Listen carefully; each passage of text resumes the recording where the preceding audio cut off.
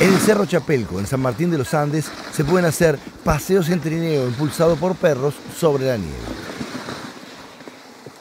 Queda en la Patagonia Argentina, en la provincia de Neuquén, y es una excursión que explica la manera de trasladarse que tienen las personas que viven en la montaña y en climas muy fríos.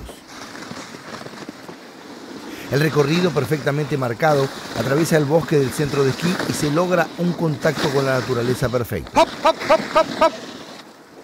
Los instructores la tienen muy clara y cuidan mucho de los perros. Otra actividad más que puedes hacer en la nieve y no solo esquiar o hacer snowboard. ¿Te gustan mis viajes? Seguime para conocer más lugares del mundo. Viaja conmigo.